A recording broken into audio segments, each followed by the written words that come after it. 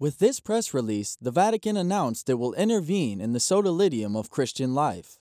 The Holy See has designated as Apostolic Commissioner Monsignor Noel Antonio Londoño, Bishop of Jerico, Colombia. Cardinal Joseph William Tobin, Archbishop of Newark, will maintain his role as delegate ad nutum, but will dedicate himself mainly to assessing economic matters. The Pope selected him for this position in May 2016.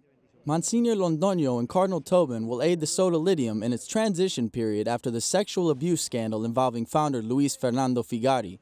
In 2016, the institution strongly denounced and dismissed him. Después de los testimonios recibidos, In light of the testimony presented, we find citizen Luis Fernando Figari guilty of the abuses he has been accused of and declare him unwelcome in our organization, which completely deplores and condemns his behavior. In the release, the Vatican reiterated the Pope's concern due to reports involving internal governance, formation, and economic financial affairs.